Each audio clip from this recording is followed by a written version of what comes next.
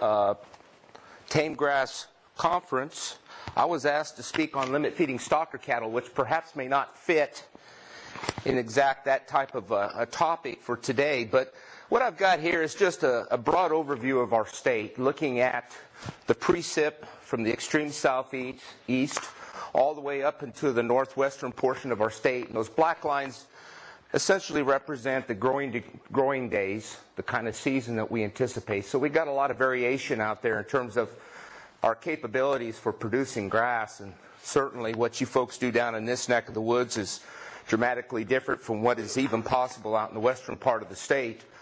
Hence, uh, limit feeding in terms of the, the variability, the unpredictability of precipitation. And I know that's hard to say. I was reminded that you folks have experienced upwards of 17, 18 months of wet, wet weather down in this neck of the woods, but I, I think you guys have had drought here in the past, not too long ago, if I'm not too far off on that. And of course, the, uh, the, the issues around that, I think, might perhaps lend itself to what we're going to talk about. But you know, in Kansas, in eastern Kansas, about 20% of the time, if you define drought as years with less than two thirds average annual precip, you guys have that experience about, well, 20% of the time. And as you go out further west, it's more likely around 30% of the time. So we, we have to build that into our management and our approach to both crops as well as livestock as we try to make some long-term plans. Uh, as Chris alluded to, this is a, a, picture of the of the stocker unit located just outside of, of Manhattan, Kansas. It's about five miles from campus, so that really allows us to utilize. Uh, we have a lot of undergraduate students. In fact, right up here on this hill here, which is pretty ugly right now, well, we just built a two-bedroom student apartment. Uh, and we provide a place for the kids to live. Of course, we give it to the good ones, the ones that show up to work, uh, the ones who are willing to take care of things.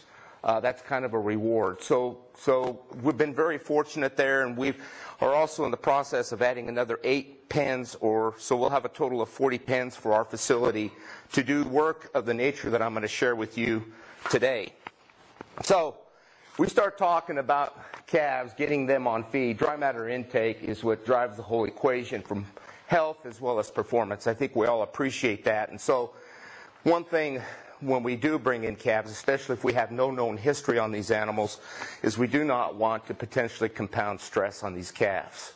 And so that, that's one of the things that stays in the back of our minds as we develop research. And certainly, as we go back, uh, some work from Amarillo, Doctors Hutcheson and Cole in 86. Uh, this slide shows very, very uh, well the impact of calves that are sick versus those that are healthy. Simply put, the sick calves just don't eat. Now, one thing I didn't add about the stocker unit uh, when I had that picture up is when, when I developed the stocker unit 15 years ago, in my mind's eye, all of the great work that had been done years ago at Pawhuska, Oklahoma, when doctors Don Gill and Bob Smith and some really heavy hitters were doing some really good lightweight starting calf work.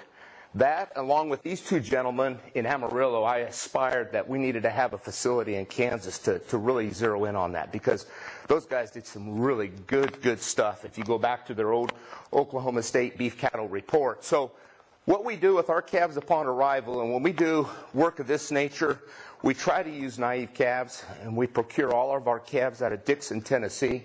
We work very closely with Pratt feeders because I tell you what, we couldn't afford to put calves in our facility if we weren't working with a commercial sponsor. And so we work with Pratt. They have an order buyer in Dickson, and he pulls calves out of secondary auction markets out of northern Alabama, Tennessee proper, and if necessary, into Bowling Green, uh, Kentucky. Now, one of the nutritional paradigms, if you go back to the literature from Glenn Lofgreen out of Clayton, New Mexico, and, and more recently out of Oklahoma State, uh, one of the nutritional paradigms is that as you increase the density of energy in a receiving ration, there is a, a tendency, if you will, for an increase in sickness and morbidity.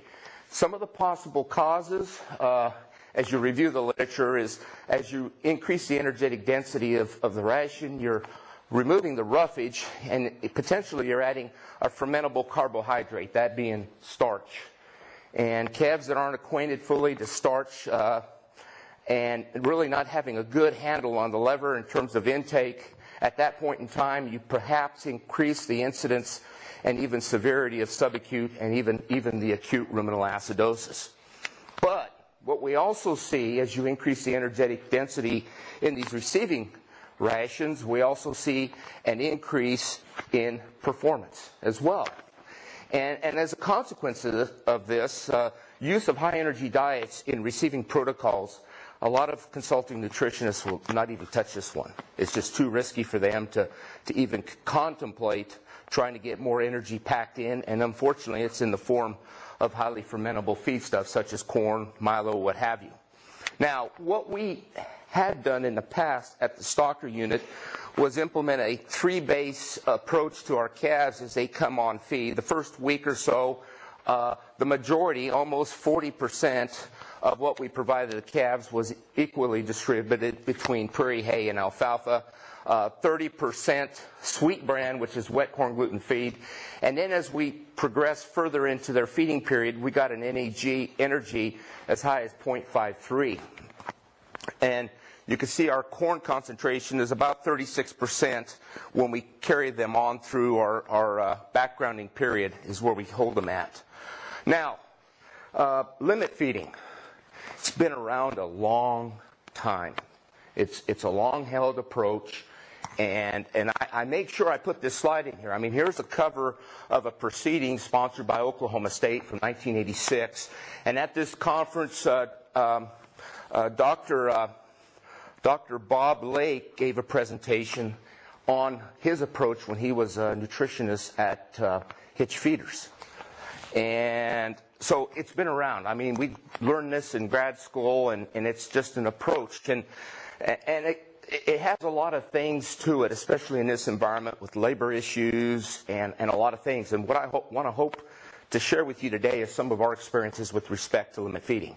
It vastly simplifies feed bunk management. Uh, we feed our calves once a day, and by five hours after, those bunks are stripped clean. They're, they're clean. So if we get a rain event or a snow event, there's no scoop shovels involved. There's no nothing. Those, those bunks are, are cleaned up. Now, it does require some appreciation for feed mixing. Uh, I've had some producers ask me if they could do this on grass traps, provide a limited, that's not really limit feeding. You're, you're restricting the intake of what you're providing that animal in one solid mass of feed, if you will. You're rounding out the edges if you're doing the grass traps. But, but there's marketing benefits, and I'm going to share with you some of the environmental aspects of this feeding practice. And I think the health management thing is another one, too, in, in light of this new era of our, our um, antimicrobial uh, concerns, if you will. So the previous research results uh, reduced cost of gain, added flexibility in commodity training, uh, less roughage, and as a consequence, less manure handling, which can be a really big one for a lot of you folks that have to. That, that manure handling is a millstone around producers' necks, and it certainly is ours as well at the stocker unit. We see a decline or decrease in feed wastage, uh, less labor, equipment feeding expense, and I also touched on, on marketing. Now, the analogies that I use for folks that perhaps are not familiar with limit feeding, uh, ad lib feeding calves, uh, just keeping those bunks full is similar to going to Vegas, where you do a little gambling, and at 2 o'clock in the morning, you want to go to an all you can eat night buffet and you just eat till you're crazy. I'm sure we all have been in those situations where you just look at food and you just say, I've had enough, no more.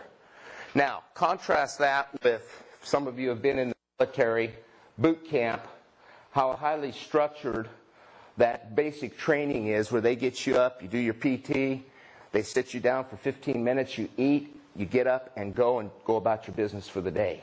That's how I like liken limit feeding, is this Camp Pendleton approach so limit feeding while increasing dietary energy. What happens is with a reduction in feed intake, the intake, the passage rate of that digesta, that material going through the rumen, it slows down. It's going through the tract slower. And as it goes through the site of absorption, where a lot of our nutrients are absorbed, there's greater opportunity. And what we tend to see is an improvement in digestibility. Now, limit feeding then, I alluded earlier, uh, and this is exactly out of uh, Dr. Lake's report, what hitch feeders' approach would be was that they would start their cattle slowly, about two weeks post arrival, and they were using almost two thirds rolled corn in their limit feeding diet. That's a lot. That's a lot of starch there. That's a lot of feed there.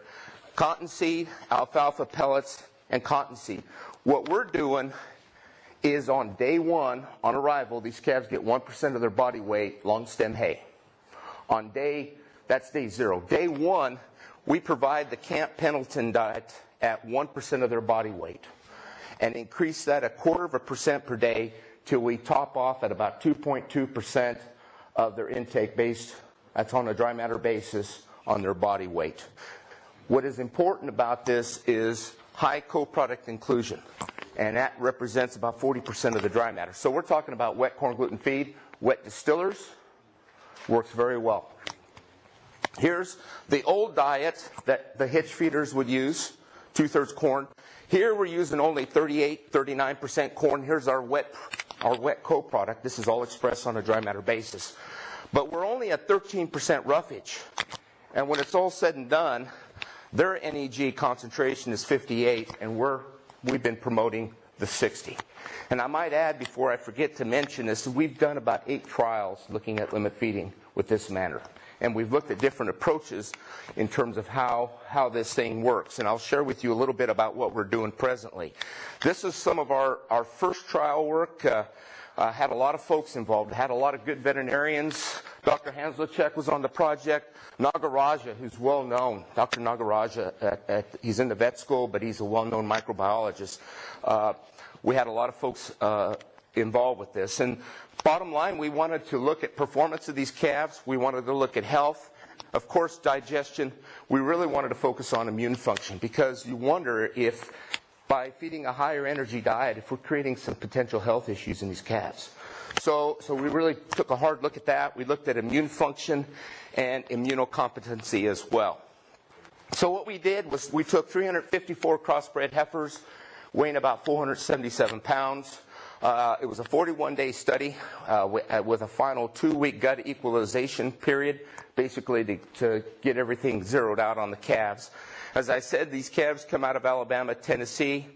Uh, we had four treatments. We had an ad lib diet formulated at 45 NEG. Those calves got all they, they could eat. We read the bunks every morning, and based upon how much those calves ate, we restricted three other treatments at 95, 90, and 85, which is equal to the 60 NEG diet. So this is what the diets look like. Here's the ad lib diet, almost 45, 45% roughage, a little bit rolled corn, sweet bran, uh, and then as we increase the, den- the density of the, of the diet, uh, we really uh, pulled down on the alfalfa prairie hay, much more corn, but we did keep our sweet bran constant across all of the treatments. Uh, here's what happened at the end of that trial. calves came in at 490. Average dry matter intake of those ad lib calves was about 2.6% of their body weight. We, we restricted the 60 NEG, 85% of that, to about 2.25%. Dry matter intake, only a two pound difference, if you will. You look at that and say 14.51 versus 12.51, but just think about it. Every mouthful of feed those calves were consuming on that 60 NEG diet had more calories in each mouthful that it consumed compared to mostly roughage over here on that 45 NEG. Average daily gain, we saw an increase in average daily gain and a significant improvement in feed efficiency. That's feed to gain, pounds of feed to, to pounds of gain. So six and a half pounds of feed required on this diet, and when we fed the 60 NEG diet, a little bit over five pounds of feed required to convert to one pound of beef. That's about, uh, we'll get to it, about 28%. Now, you ask about sickness. Yeah, these calves were long haul calves. And yes, we had some sickness. Uh, across the board, it was not significant. Uh, you could see there, 4%. Uh, no, really, no, there was no significance that we determined uh, in the trial here. And we also looked at a lot of the blood parameters, the haptoglobin and all that stuff. And I, for the interest of the presentation today, I'd be happy to share it with you. But we saw no significant impact from the 60 NEG diet. But what we saw was an improvement of feed efficiency of 27% when feeding the 60 NEG diet versus the 45 ad lib. No adverse effects on health were detected from the 60 NEG diet. Okay, so we did a second study, this using, you know, we're training graduate students, and so we use a lot of ruminally cannulated calves they're learning nutrition, so we, we, they need to get inside and understand the architecture of these calves and everything. So, so we utilized uh, some cannulated calves, uh, 60 day total trial. You can see that there's a period of time in here for adapting to the diet. We pull fecals, and on, on the final end of that trial period, we pull uh, ruminal digesta uh, as well for, for further analysis. Uh, there was a 21 day period before we initiated the trial, uh, and we used the last five days to obtain an average dry matter intake. All right. We pulled fecal samples. Uh, we advanced. We looked at dry matter digestibility. Uh, we, we pulled samples almost every two hours. VFAs, ammonia, pH, all that stuff. Uh, we actually use some, some really cool technology that's available out of Austria, and basically they're, they're boluses that we delivered through the ruminal cannula, the fistula of the animal, and it basically uh, transmits the pH of, of what is inside the rumen, just like, a, just like a clock. It's got a base station, and we collect the data. But you can see on this 60 NEG diet where the pH slides down here to about 4, and you can see post post eating here, we're talking about a four hour period of time. It gets down here to 5-4, and at this point in time, depending upon who you talk to, you start to get a little bit concerned about where you're, you're moving into that zone of uh, taking out the effectiveness, potential pH issues, if you will. Uh, and you can see that with the, six, the uh, 45 NEG diet, it, it, doesn't, I mean, it, it fit very, very well. Uh, VFAs, as we expected, with the higher energy, we got less uh, amounts of acetate, increased amounts of propionate. Um, diet digestibility, linear response. We saw a very nice improvement in feed efficiency with, with the limit feeding uh, as we increase the restriction and the energy of the diet. Okay, nutrient digestibility. Again, here it is 62 versus 70%. What's interesting is that for the amount of forage that we put into the 60 NEG diet, we really did not see any de- decrease in the amount of the fiber that was digested by the ruminal microbes uh, with that higher energy diet. Now, this is a big thing I alluded to earlier about manure handling in terms of weed load, potential soil compaction, and all this stuff. You got less to deal with. And uh, we've seen this a lot. We can appreciate that, and we all can relate to what happens to pens. Uh, this is just a picture I took, but this, this amount of manure from a limit-fed set of calves uh, is represented from 105 head over a 90-day trial. There's just not much manure produced. And in fact, from our cannulated cattle, we calculated about a 58% reduction in manure. Forage is good, don't get me wrong. I mean, here I am, a ruminant nutritionist, and I'm talking about digestible fiber.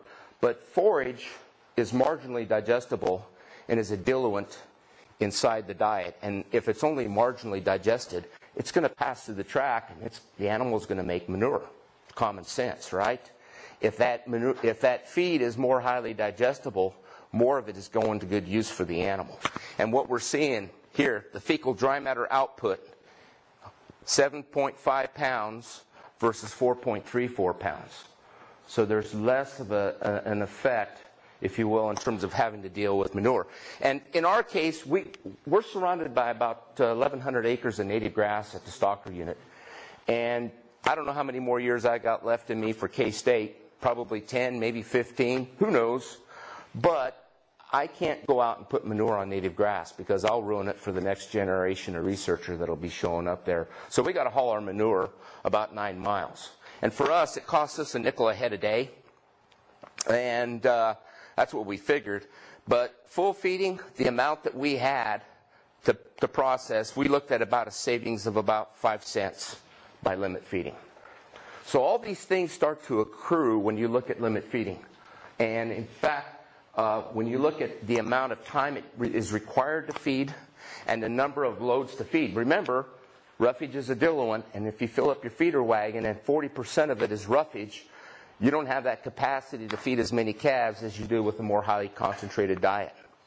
So, in terms of time it takes to feed, mixing time, all this stuff, and we're actually doing work right now. We got some monies uh, through NCBA with a sustainability grant. We're actually trying to quantify all these little ancillary benefits that can arise from doing so. And what I have here, uh, we're actually kicking the trial off here next month. We got GoPro cameras right here on the back, uh, on the top of the tractor in here, and we're, we're collecting a lot of the animal behavior aspects. And we'll talk a little bit about the, uh, the, the, health, uh, because if you eat and you're fed and you consume everything within five hours, and all you do the rest of the 18, 19, 20 hours of the day is lay around, when it comes time to eat, and that truck tractor comes up to feed you, if you're not up at the bunk looking pretty enthusiastic about eating, that really, I, I believe, and, and it's common sense again, the health detection. And we're going to really try to substantiate that with this next trial. So, adequate bunk space is necessary. You got to have sufficient space for all calves to have equal opportunity to eat when they obviously some will eat more than the others if you don't give them that opportunity. Now, uh, again, with this study we're doing in March, is we're going to evaluate this cattle behavior because I tell you, when you start and these calves are hungry, it, it's nerve wracking. They'll climb out of their pens, literally. Uh, so we want to document that. But as I said, those bunks are slick. they're clean. And I did have some YouTube, and in the interest of time, I, I'm not going to show you, but I flew drones over our bunks right prior to feeding at about 7:40. We just weighed calves that morning, and they're laying down. They're not mooing or doing anything to give you the impression. But the minute they hear that tractor, uh, they're gathered up and they're ready to get down to business and eat. Uh, another thing, our observation, our earlier pens that we built were uh, these bunks come out of uh, Garden City, and more, we call them a J bunk because they're shaped, they're rounded in the bottom. Um, with roughage, guess what? You put a lot of roughage in there and stuff. Uh, those calves tend to put their heads in there and they'll flick that feed out pretty quick. That's another thing about feeding a lot of roughage is you start producing a lot of feed uh, for the rodents and for the birds, the predating birds and stuff. We have now gone over to Kinsley and we're using these flat bottom bunks from Straits and we're getting pretty good luck with them. So as I alluded to, the wind losses, uh, fluffy ration, uh, the waste, estimating the, the, the amount of waste. And if it's waste, the animal's not eating it to convert with. And it depends on how you look at that. But, but there's some true costs there to be had. So nine trials and ongoing. Uh, we're seeing about a 27. This last trial we did, it was closer to 30% improvement in feed efficiency. And there's a lot of questions yet to be answered. And for example, a lot of folks say, well, you guys have been doing a lot of work with Sweet Bran, which is out of Blair, Nebraska. For you folks down here, it just doesn't make sense at all. So how about wet distillers? Is there an opportunity for that? So we did a study, followed up with that. These calves come out of, out of Texas and New Mexico, a lot bigger cattle. Uh, we looked at wet distillers versus sweet bran, but we also looked at feeding these calves cracked corn or whole shelled corn. Here's one other thing to make life a little bit simpler with these, these uh, lighter calves. We formulated all of the treatments to 60 NEG. Bottom line is, we saw no difference in performance with average daily gain between rolled corn, whole corn, or sweet bran versus wet distillers. They all performed equally. No difference. So the 50 cents, 100 or whatever it costs to go to the co-op to process the corn, to dry roll the corn, guess what? You don't have to do it. Now, you get up to the seven, I'm going to say 800 pounds and greater, you need to process the corn. But for growing calves, they do a really good job of breaking down those kernels and getting as much as they possibly can out of that corn. And with limit feeding, you expect the corn to be in the system longer, right? I told you earlier there's a the passage rate is slowed down significantly. Efficiency of gain is also equal. We saw no byproduct effect, no corn processing effect, and, and there was no interaction as well. So we concluded that sweet bran, wet distillers, equals similar performance, no impacts on health. Now, we did that trial. We rolled them back to 2% of their intake. We feel pretty comfortable now. We like 2.2. We think that's the sweet spot uh, for the work that we've done. We also, a lot of people, uh, to answer this question, how much feed intake do you do with these limit fed calves? We took a real set of fancy heifers out of Chinook, Montana. These calves weighed about, about 460 pounds. Uh, we did it for about 49 days. And what we did is we fed the 60 NEG diet, but what we did was we only offered 1.9, 2.2, 2.5, and even 2.7%. With a high energy diet and a lot of intake, there's what we call a chemostatic feedback in the brain. In other words, it's kind of like having five banana splits, and by the time you finish eating three, your body is telling you that you've had enough. You're getting that feedback that you have been satiated, you're no longer hungry. But we fed at the daily gain, excuse me, what did I do? The daily gain, as you would expect, increased linearly from 2.16 to 2.76. Dry matter intake increased, and yet you would think that with the higher amount of feed, uh, we saw comparable feed efficiencies. Now, we followed up with another study in September, two years ago, almost, with steers. We locked them in at 2.2 percent and I want to show you the compare. You know, this, this whole feeding system is based upon NRC. Okay? NRC just turned 50 years old last summer. It's been around a long time. You can talk to any of the nutritionists around here. That is our nutrition Bible that we use. The formulas, the, the, the means by which we predict and project animal performance works pretty darn good. Really good. We targeted steers at 2.2% of their weight and using, again, another trial looking at whole shelled corn versus dry rolled corn. And steers you would anticipate to gain a lot more than heifers. So here 2.43 versus 2.39. Uh, very predictable. And, you know, the next question I get from folks is what happens in the feed yard? Uh, you, do you shrink their guts down so much that they really have no capacity to gain? Uh, how about liver abscesses? Are you guys creating problems in the growing phase? And is it going to ultimately crash down on the feeders uh, as they deal with these calves? Well, I will tell you, Pratt has never come out and said, hey, uh, there's a problem here. We don't like whatever you guys are doing up there with our cattle. Uh, we do communicate very closely with them. But this study, we just killed our second set of our light cattle here about two weeks ago. This is the heavy set of calves that we followed through the, the feedlot. Okay? Um, the 45 NEG, the 60 NEG, you can see there's our improvement in efficiency. 672 versus 844 did very well. There's our gain improvement. And so those calves come off test about 30 pounds heavier than the roughage fed calves. Now, what happens in the feedlot? Those calves come off. They're off test here, 890 versus 853. We saw some compensation with the ad lib calves, the 45 NEG. And again, you saw a bit of a reversal with feed efficiency. Dry matter intake was not uh, was not different, but you could see the difference in average daily gain through the feedlot phase. So it's a matter, we're working with uh, the ag economist with this project, Dr. Glynn Tonsor. Uh, he has a graduate student that's working on this, and we want to put all this information together so you can evaluate the corn market. Everything is taken into consideration. And you can add the pluses and subtract the negatives, and at the end of the day, you get a better idea. Um, here's what happened with carcass merit. Again, I haven't even, we haven't even touched the data. It's being analyzed as I speak. This is raw data. But you can see here, the, there's two columns for each treatment, okay? There's the number of head and the percent of the group for the 60 and the 45.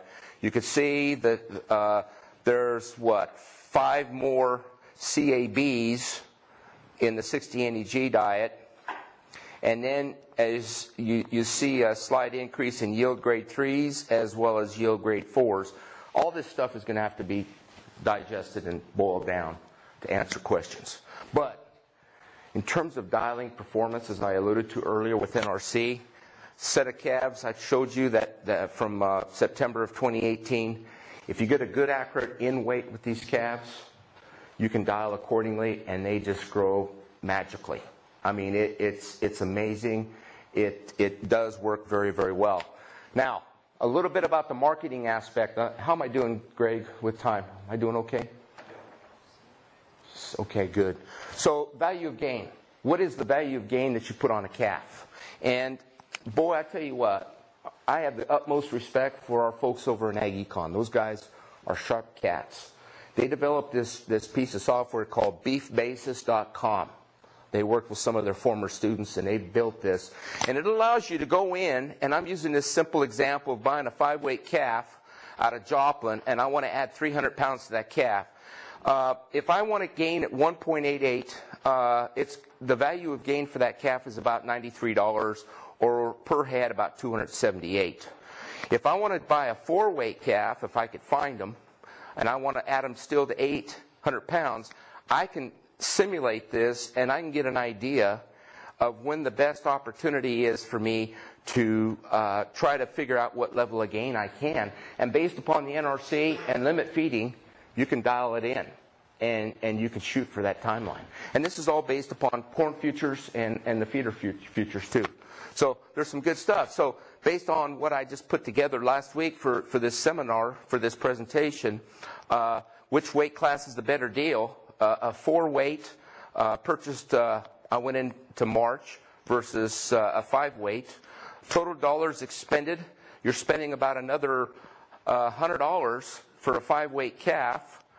You're selling uh, the four weights on September and earlier for the five weight calves weighing eight pounds. So daily gain, I'm just going through this here real quickly. Value of gain, 98 bucks versus 93 bucks and it all takes into consideration that uh, the class of cat that you have. Now, our extension service utilizes a piece of software uh, from Iowa State. It's called BRaNDS. It's part of our nutrition uh, evaluation. And as I alluded to earlier, in terms of putting calves in and having a good accurate weight, it, it, this worksheet actually does it for you based upon the nutrient, whatever the, the ration that you're feeding for limit feeding.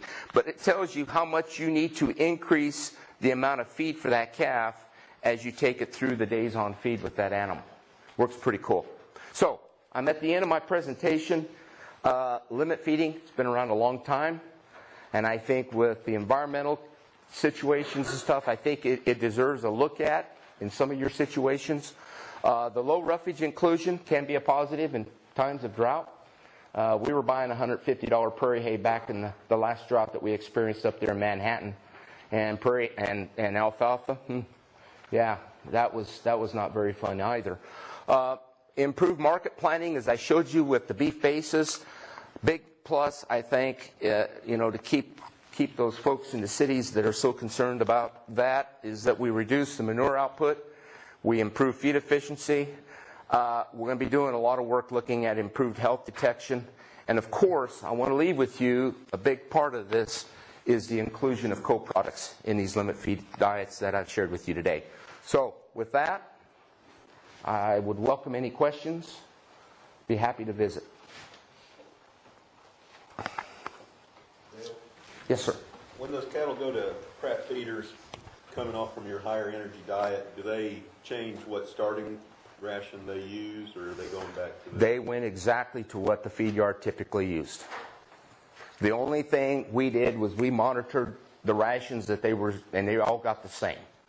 The only difference we did, Paul, was that we had a heavy end sort and a light end sort to fit the pen. So we only had, we had two reps for, for, uh, for each treatment. It seemed like an advantage they could start at a higher. You would, you would think, but again, that, that, that consultant and that same consultant working with the backgrounder and having the confidence to follow through into the finish you would think you could shave off some days on feed, right? I mean, you can get them up there a lot quicker and move on. But we didn't do that. We worked within the constraints of reality. Yeah. But uh, we got, uh, uh, we had West Texas A&M come up and do our liver scores. We're, we're trying to get our, the whole picture in terms of the, of the, of the rumen health of that animal. Uh, so we feel fairly comfortable and confident with what we're doing at them at this lighter stage of their life. Any questions? Yes, sir. To do with the, kind of off the limit feeding topic, but the whole corn, rolled corn, um, supplementing cattle that are on grass. Um, I know it's kind of off this topic, but does that follow through to supplementation and daily gain? Is there any difference there on, say, feeding one percent on fescue, for example? Uh, and feeding it as whole versus rolled? Uh, that's a good question. I, I, I, I wouldn't, with the size of calves that I addressed, I wouldn't see that as a problem if, if you got, or you got bunks out there too, right? You're not just ground pouring it and, Right, well, it's not just one percent whole corn, it's a mix, but I'm It's a saying mix. as far as performance, are you seeing a performance difference in the rolled and whole? I wouldn't expect with that class of animal, no. There's sufficient, uh, a lot of, they regurgitate their feed. The animals do a better job of breaking stuff down. I mean, uh, we got some stuff published uh, specifically looking at that topic. And it- again, that's not something new that we've, I mean, you go back to Oklahoma State, I mean, you can go back to Wagner's old work and stuff, a lot of whole shell corn being fed, but to lighter classes of animals. And on grass, I, I might invite Paul to, to speak about that as he gets up later on in the presentation about uh, feeding it as a whole versus uh, potential. I mean, if you do a good job with the mix, the sorting, that'd be maybe a concern one might have. Reduction in dust might be better too. Uh, rain events or anything like that, you think they do a better job of picking up? I wouldn't. I wouldn't anticipate a big difference if there was one. Dale, Okay. how much bunk space are you recommending on a 500 Uh, 18 to 20 inches. We, don't lack for bunk space at the stocker unit. Uh, for the size, we, we got 12 head pens is what we use for that calf. Of course, as they get bigger, uh, we put fewer animals in there. But with, with what we're doing with the limit feeding, they all have to get there shoulder to shoulder. They better have adequate space, especially if there's any dominance issues that are being worked through with these uh, calves from being commingled and stuff from other sources.